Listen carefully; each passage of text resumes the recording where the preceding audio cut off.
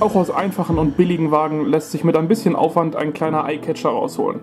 Diese Art von Wagen habe ich wirklich noch nie gealtert, also keine Ahnung, ob das funktioniert. Let's see.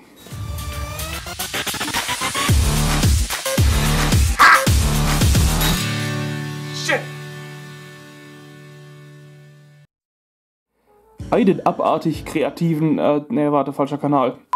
Moin Leute. Wie ich die Holzoberfläche in diesem Wagen hier gemacht habe, habt ihr ja schon in einem anderen Video gesehen. Jetzt geht es um den Rest von diesem wunderschönen Stück Billigplastik. Also wirklich ganz im Ernst, so wie die Wagen jetzt aussehen, kann man die nicht mal im Ansatz ernst nehmen. Aber ich versuche jetzt mal irgendwie etwas hier draus zu machen.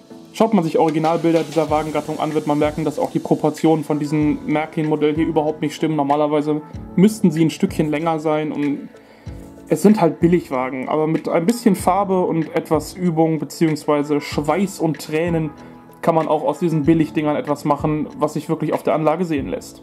Wie bei jeder Alterung gilt es jetzt erstmal, dieses Ding komplett zu zerlegen.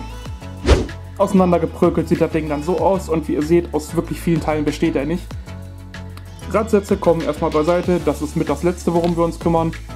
Die Gewichtsplatte, ja, da machen wir eigentlich gar nichts dran, also die kann weg. Um das Fahrwerk kümmern wir uns später. Was bleibt, ist der Oberbau. Glücklicherweise hat der Wagen zumindest so ein paar Details wie diese Metallbeschlagteile hier, aber alles in allem ist er doch ziemlich langweilig zum Ansehen. Von daher müssen wir da mit ein paar Farben und Techniken tricksen, damit es wirklich interessant wird. Ansonsten sind das nämlich Wagen, die man sehr schnell auf der Anlage übersieht bzw. überhaupt nicht beachtet. Das erste, was wir jetzt tun, wir schnappen uns unser gutes altes Color Stop und werden hier die Bretter, die die Beschriftungen haben, beziehungsweise auch hier in der Mitte hier und da Bretter komplett mit Colorstop abdecken, um äh, diese dann später als ersetzte bzw. neu bepinselte Bretter darzustellen. Des Weiteren machen wir das, damit die Beschriftungen nicht komplett verloren gehen. Warum seht ihr gleich. Colorstop ist drauf. Wie ihr seht, ich habe die beschrifteten Bilder komplett abgedeckt und dann hier und da in unregelmäßigen Abständen verschiedene Bretter noch zusätzlich abgedeckt, um ein bisschen Variation in den verschiedenen Brettern reinzubekommen. Meine Fresse, ist das eine schwere Geburt heute. Man könnte jetzt ganz gemütlich darauf warten, bis das Color Stop fertig getrocknet ist. So viel Zeit habe ich aber nicht, deswegen legen wir das jetzt erstmal beiseite und fangen mit dem Fahrwerk an. Ich habe damals schon in meinen ersten Lackier- bzw. Modell-Tuning-Versuchen hier einige Sachen bemalt. Das werde ich jetzt vernünftig und zu Ende führen, da fehlt nämlich noch die Hälfte. Ist das soweit fertig, dann können wir uns daran begeben, das Fahrwerk zu altern und komplett fertig zu machen, dass wir später nur noch den Oberbau aufsetzen müssen und wir sind durch. Soweit so gut. Ich habe jetzt meine Versuche von damals so einigermaßen komplettiert. Für die Nietenzähler, ich weiß, es ist nicht hundertprozentig originalgetreu, aber für dieses Billigmodell reicht mir das so. Im ersten Schritt für die Alterung von diesem Fahrgestell nehmen wir jetzt German Black Brown von Valeo. Die Nummer könnt ihr hier oben sehen. Und damit nebeln wir jetzt das ganze Fahrgestell leicht ein, um einen leicht bräunlich röstlichen, röstlichen, geröstet, oh, Mandeln. um einen leicht angerosteten Braunton zu erzeugen.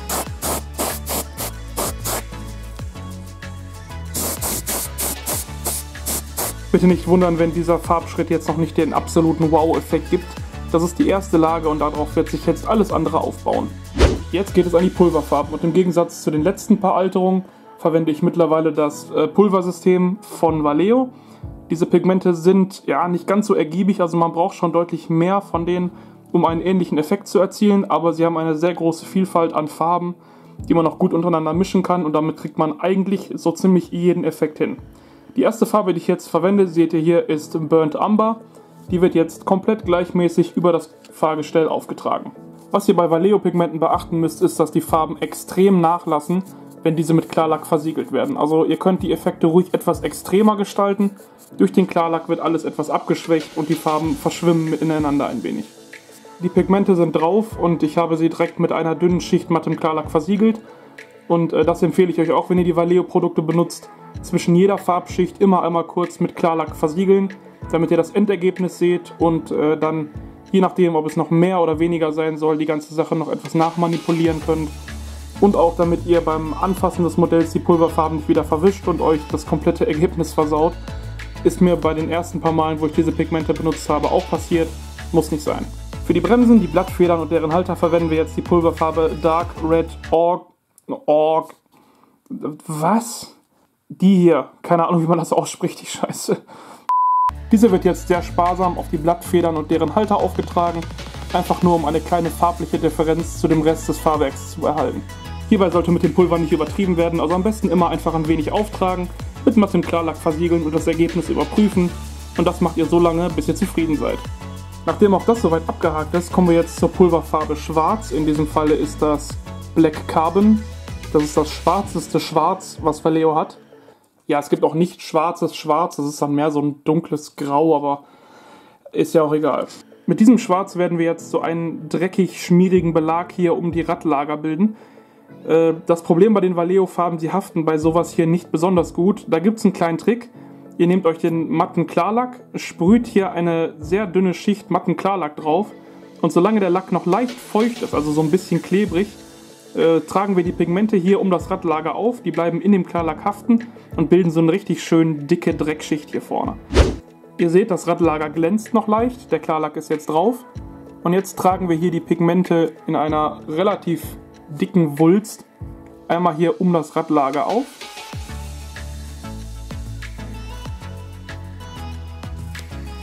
Die restlichen Pigmente können durch Pusten entfernt werden. Und wie ihr seht, sie haften richtig schön an dem Klarlack und bilden einen richtig schönen dicken Dreckschlier um das Radlager herum. Im direkten Vergleich wird es deutlich, was für einen Effekt das hat. Auch diese Technik verwenden wir jetzt einmal ringsrum bei allen vier Radlagern und dann geht's weiter. Im nächsten Schritt kümmern wir uns mal ein bisschen um die Pufferbohle. Dafür schnappe ich mir Natural Amber und trage es hier an der Kante der Bodenplatte jedes Puffers auf. Das stellt abgelagerten Staub dar, der durch die Verwirbelung beim Fahren sich in diesen Ecken hier absetzt. Nach der Versiegelung mit Klarlack erkennt ihr, dass es nur noch ein ganz leichter Effekt ist. Die Puffer wirken so natürlich noch ein bisschen langweilig und die Gestaltung der Puffer ist eine Sache, an der ich auch lange, lange experimentieren musste, bis ich eine Technik gefunden habe, wie man es einigermaßen hübsch und realistisch dargestellt bekommt. Das Geheimnis für perfekt gestaltete Puffer liegt in dieser schwarz-schmierigen Mumpe hier. Diese besteht nämlich aus mattem Klarlack und den gerade von uns verwendeten schwarzen Pigmenten. Diese werden zu so einer richtig schön matschig schwarzen Brühe angemischt, die eine relativ zähe und klumpige Konsistenz haben muss. Und damit werden wir jetzt eine richtig schöne dicke Fettschicht auf die Puffer auftragen. Wir nehmen uns einfach etwas von unserer schwarzen Mumpe und klatschen das in die Mitte des Puffers. Jetzt schnappen wir uns so einen Make-up-Schwamm, die sind relativ fein, und vertupfen diese schwarze Mumpe in der Mitte des Puffers, sodass wir einen schönen, gleichmäßigen, rauen, schmierigen Belag bekommen.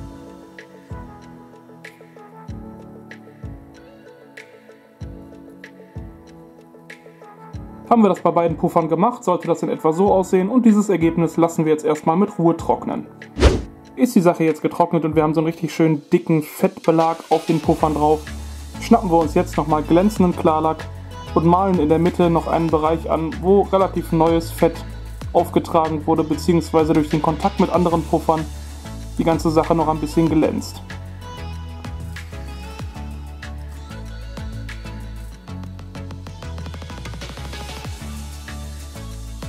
Im selben Zug können wir auch direkt die Pufferhälse mit glänzendem Klarlack versehen.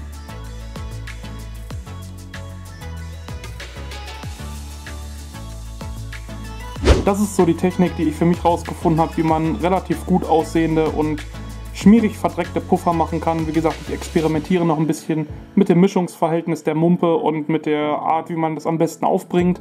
Aber so im Großen und Ganzen bin ich mit dem Ergebnis eigentlich recht zufrieden. Das Fahrgestell ist jetzt auch soweit fertig, jetzt können wir mit dem Oberbau weitermachen.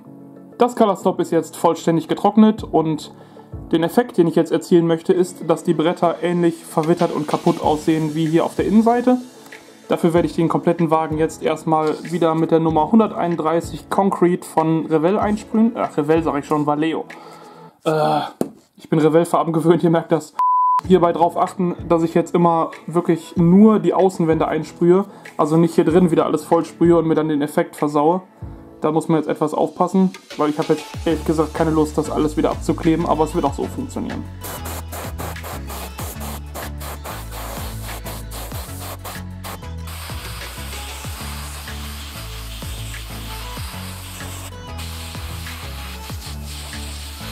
So, das hat schon mal geklappt und zu Recht wird sich jetzt der eine oder andere von euch fragen, was zum Teufel ich hier tue. Das werdet ihr gleich sehen. Ich popel jetzt erstmal das Color Stop ab und dann geht's weiter.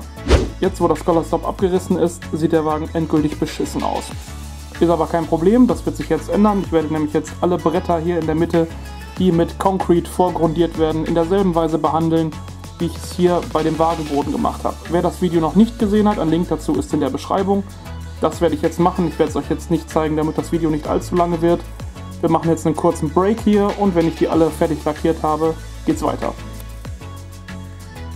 20 Minuten später sind die Holzeffekte jetzt komplett dran. Und ich weiß, was ihr jetzt denkt, im Gegensatz zu dieser schönen Oberfläche hierhin sehen diese kleinen Bretter jetzt ein bisschen aus wie, äh, ich nenne es mal Darmentleerung durch den Nordausgang, aber das ist gar nicht mal so schlimm, weil von dieser Holzoberfläche später nicht mehr so viel zu sehen sein wird wie hier drin. Wenn ihr wissen wollt, was ich genau damit jetzt meine, zu dem Punkt kommen wir nämlich jetzt. Wenn ihr das nicht wissen wollt, frage ich mich, warum ihr das guckt. Warum, warum guckt ihr zu? Findet ihr das lustig oder so? Na, das kann es nicht sein. Ich habe mir jetzt hier in meiner Pralinenverpackung ein Rot angemischt, beziehungsweise es ist ein Rotbraun, was äh, der Originalfarbe des Wagens so einigermaßen entspricht. Ihr könnt das auf der Unterseite des Wagens relativ schön ausprobieren, solange bis ihr den passenden Farbton gefunden habt. Diesen Farbton hier habe ich zusammengemischt aus folgenden Tönen. Zum einen Vallejo German Red Brown, das war die Basisfarbe. Und die habe ich äh, in ungefähr 20% aufgehellt mit Maragoni Braun, ebenfalls von Vallejo. Warum ich diese Flächen nun in Holzoptik bemalt habe, der Grund dafür relativ einfach. Ich möchte eine Optik erzeugen, dass an diesen Brettern hier der Originallack schon richtig abgeblättert ist und von unten das äh, pure Holz durchkommt. Ich habe mir jetzt den Außenfarbenton hier zusammengemischt und werde jetzt mit einem sehr dünnen Pinsel hier die letzten Farb Fetzen aufmalen, die noch an den Brettern haften. Quasi äh, die letzten Reste, die noch hängen geblieben sind. Und ansonsten kommt bei den Brettern hier die pure Holzoptik durch. Diese Fetzen kann man in, in ganz unregelmäßigen äh, Stellen auftragen. Man kann hier in den Ecken, man kann die Kanten abgeblättert lassen und in der Mitte des Brettes mehr Farbe übrig lassen. Das bleibt jedem selbst überlassen, je nachdem, wie es einem gefällt, beziehungsweise wie vergammelt der Wagen aussehen soll. Ich werde jetzt selber ein bisschen rumexperimentieren, bis ich das Maß gefunden habe, wo ich sage, dass es mir gefällt. An der Stelle kann ich jetzt einfach mal einen Zeitraffer einblenden, damit ihr sehen könnt, in welchen Mustern, beziehungsweise eben nicht Mustern, sondern äh, zufälligen Flecken ich diese Farbe hier auftrage.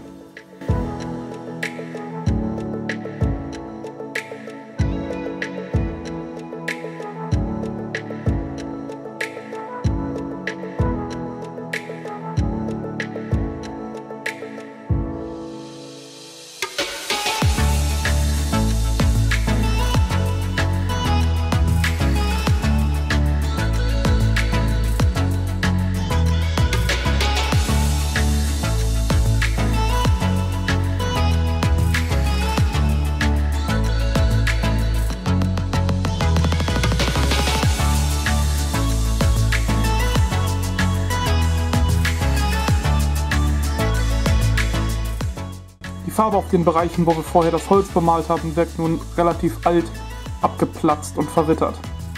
Wichtig hierbei ist, dass ihr auch Bretter habt, die mehr Farbe beinhalten, welche die weniger haben, sodass der Gesamtlook des Modells deutlich interessanter wird. Das sieht jetzt nach einem sehr fisseligen Job aus, aber mit guter Musik und einem bequemen Stuhl lässt sich das einigermaßen gut ertragen. Gerade solche Arbeiten finde ich immer relativ entspannend tatsächlich. Ich weiß auch nicht, äh, was für einen Schaden ich im Hirn habe, aber ich mache es wirklich gerne.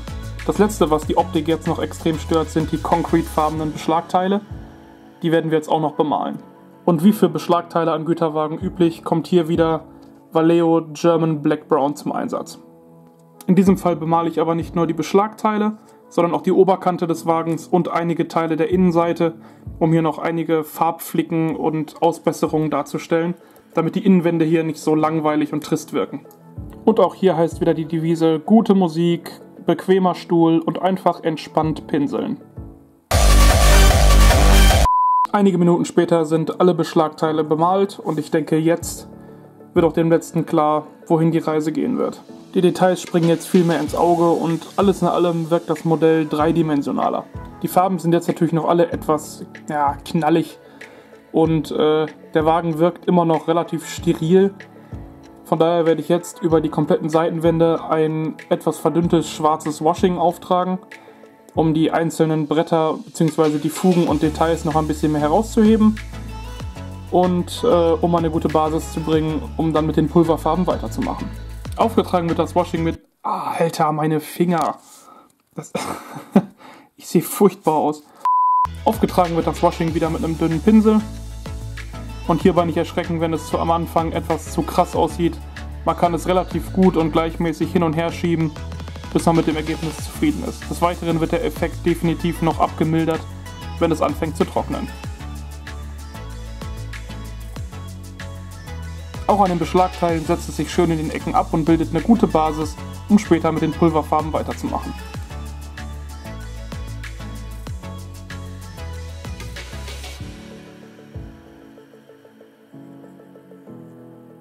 Nachdem auch das jetzt vollständig getrocknet ist, wird es Zeit für die Pulverfarben.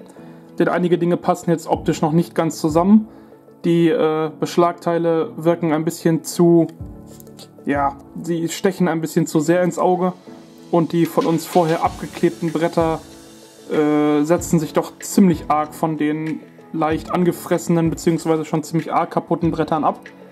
All das werden wir jetzt mit verschiedenen Pulverfarben ineinander blenden, sodass das Gesamtbild hinterher stimmig wirkt. Ich hoffe, man versteht das. Ich bin echt schlecht in Erklären. Mit äh, Burnt Umber, dieselbe Pulverfarbe, die wir schon vorher benutzt haben, gehe ich nun ganz vorsichtig über alle Bretter, die nicht gealtert bzw. bearbeitet wurden. Dadurch bekommen diese so einen leicht dreckig staubigen Überzug, was die Schriften etwas abdämpft, dass diese also nicht mehr so extrem herausstechen und sie passen sich Stück für Stück auch ins allgemeine Bild des Wagens besser ein. Wie gesagt, auch hier wieder anzumerken, der Effekt ist jetzt relativ extrem, kommt gleich der Klarlack drüber, wird er etwas schwächer werden. Auch können wir ganz vorsichtig über die bereits gealterten Bretter drüber gehen, damit diese sich in der Farbe noch etwas anpassen und dann zu den anderen Brettern besser zusammengehören. Zusammengehören, zusammenpassen. Äh, Deutschkurs für Anfänger, ich brauche ihn ganz dringend. So fängt der Wagen langsam an, zu einem stimmigen Gesamtbild zu werden. Auch die Innenseite der Bordwand bekommt jetzt erst einmal eine relativ heftige Schicht von Burnt Umber. Hierbei immer schön fleckig arbeiten, um keine Muster oder Striemen einzuarbeiten.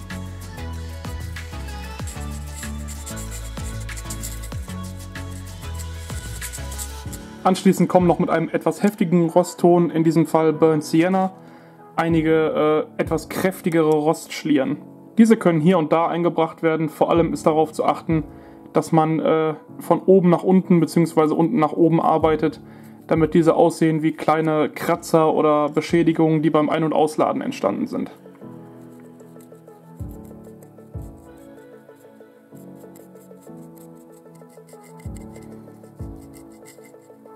Im nächsten Schritt kommt Schwarz zum Einsatz. Damit gehen wir jetzt einmal der Kanten entlang, um so ein bisschen abgelagerten Dreck zu simulieren oder darzustellen, je nachdem, wie man es sagen will, keine Ahnung. Und auch einige Flecken mitten auf den Brettern darzustellen, wo mal vielleicht irgendwas ausgelaufen ist oder wo dreckige Beladung drauf war, etc. Und hier hat man jetzt einen riesen Vorteil von Vallejo-Pulverfarben erkennt. Sie haften zwar nicht so schön, aber dafür kann man sie relativ gut noch manipulieren nach dem Auftragen und den Dreck quasi so in die Richtung schieben, wie man ihn haben will sodass man jetzt hier eine richtig schön dreckige und benutzte Ladefläche erzielen kann. Da dieser Wagen hier nicht mehr aktiv genutzt werden soll, sondern nur noch als Gelegenheitswagen quasi im BW rumsteht und daher schon mal ein bisschen anfängt zu gammeln, nehme ich mir jetzt noch eine grüne Pulverfarbe und werde damit noch einige Highlights setzen, weil er hier und da schon mal vielleicht ein bisschen Moos angesetzt hat oder weiß ich nicht, einfach ein paar Monate auf dem Abstellgleis rumgegammelt hat. Hierbei ist jetzt aber wirklich darauf zu achten, dass man es nicht übertreibt und nur ganz gezielt an kleineren Stellen arbeitet. Dort, wo sich eben halt hier und da mit der Zeit ein bisschen Moos absetzen könnte.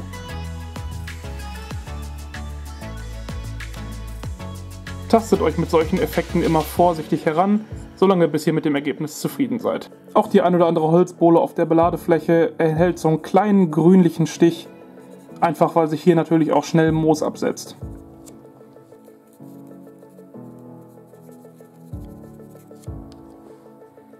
Und somit wäre auch der Oberbau fertig gealtert. Das bedeutet, das Modell kann zusammengesetzt werden. Die Radsätze altere ich wie gehabt. Ich denke, das muss ich euch nicht zeigen. Das ist eigentlich immer derselbe Prozess. Und somit ist das Modell fertig. Und mit den Bildern des fertig zusammengesteckten Modells sind wir auch schon am Ende angekommen.